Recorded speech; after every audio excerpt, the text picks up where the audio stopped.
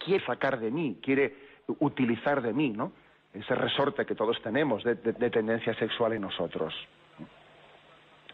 Lo mismo, digamos, de esa, de, esa utilización de la violencia, de juegos violentos, de películas violentas, que están queriendo eh, utilizar ese resorte, resorte también violento que tenemos nosotros partiendo de, eh, esa irascibilidad que todos también tenemos. ¿eh? Bueno, cuando se quiere desde fuera mm, bombardear ciertos resortes interiores, se nos está manipulando. Y decir que cada uno escoja lo que quiera es, mm, es una, una falacia porque al mismo tiempo que se dice escoge lo que quieres, yo estoy tocando un resorte interior subliminalmente. ¿Mm? Luego, cuando ha habido una manipulación ahí subliminal que toca, eh, que toca mis pasiones, y luego decir escoge libremente, hay una mentira. Me estás mintiendo. Me estás arrastrando para luego decirme escoge libremente. ¿Qué pasa? ¿Me, me, arrastras o me propones una, una, una opción? No, me estás arrastrando y luego me dices, eres libre para elegirlo. Por eso eh, reivindica aquí el catecismo que también la pureza cristiana exige una purificación social y tenemos que exigirla. Tenemos que exigirla. Yo tengo derecho a ir a la playa sin que, sin que tener que estar aguantando lo que no tengo por qué estar aguantando, o lo mismo la librería, lo mismo la televisión, lo mismo en el cable, en el cable de, la comunidad de vecinos, eh, de los canales que se están recibiendo, etcétera, etcétera. Tengo derecho a ser libre y a que a mí no me estén condicionando.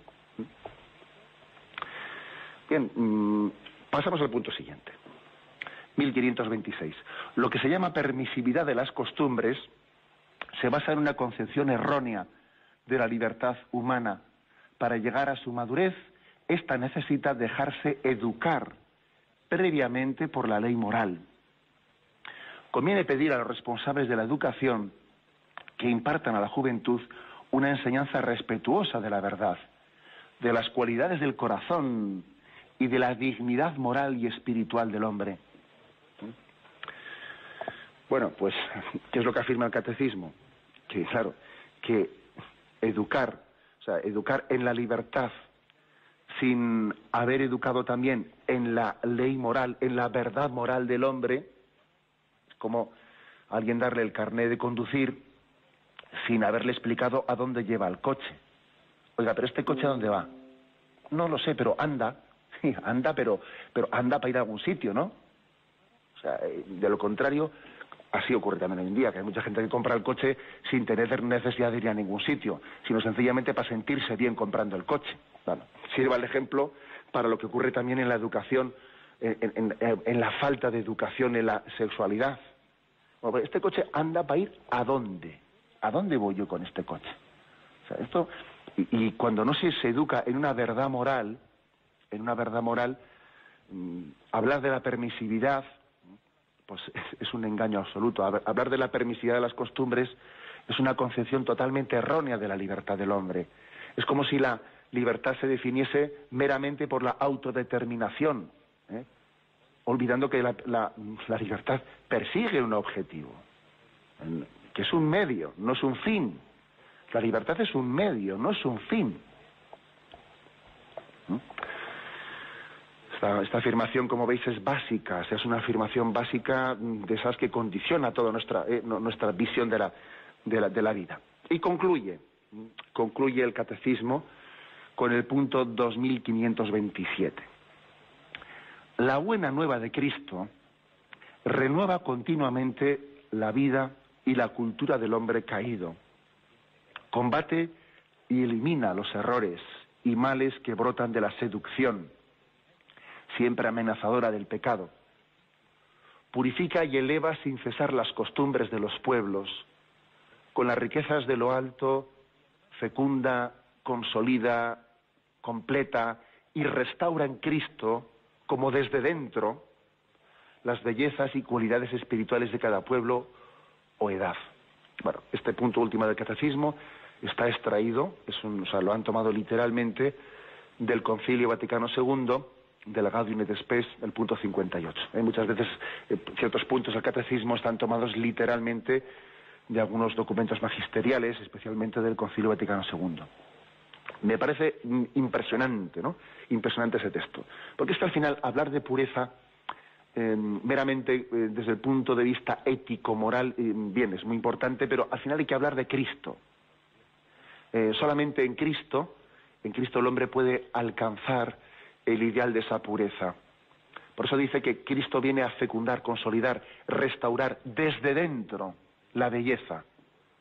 O sea, Cristo nos permite desde dentro, desde dentro descubrir toda la belleza interior del hombre. Esta, esta cultura hipererotizada, entre otras cosas, nos está impidiendo ver la riqueza interior del hombre.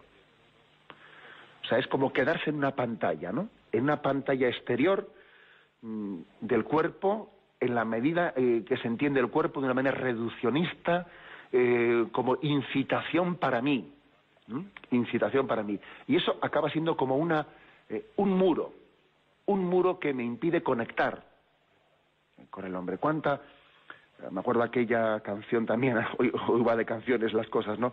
Aquella canción Bella sin alma, Bella sin alma. O sea, ¿hasta qué punto, no? Hoy en día el erotismo presenta el cuerpo humano como una belleza sin alma. No me importas tú, ¿eh?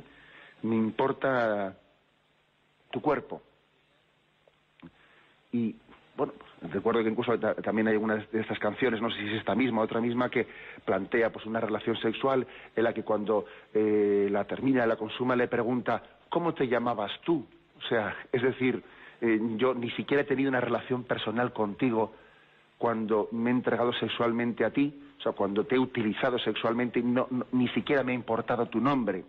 Esa es, esa es la concepción de, mm, de una belleza meramente exterior, corporal, desconectada del don de Dios, eh, que es la persona humana, ¿no? que es imagen y semejanza de Dios, ese, ese don de la que, es ser persona, imagen de, de, la relacionalidad que existe entre Dios y con esa capacidad de, de donación y de entrega en la que Dios nos ha creado. O sea, que Cristo quiere regenerarnos desde dentro, dice aquí, como desde dentro, y descubrir desde dentro la belleza del ser humano la belleza del ser humano. Yo creo que además todos tenemos eh, la experiencia de que eh, el sexo, tal y como, como, nos rodea en toda esta incitación de cultura, de, películas, etcétera, ¿no? Eh, vamos, vamos comprobando que el sexo por el sexo crea soledad. Lo vamos comprobando, ¿no? Crea ruptura, crea, crea divorcio, crea soledad, crea soledad, el sexo crea soledad nos hace profundamente solitarios, solitarios. Y, sin embargo, la pureza ayuda a la relación, ayuda a que nos importe el tú, nos estar atentos a la persona, atentos a la persona. Nos ayuda a salir de nosotros mismos.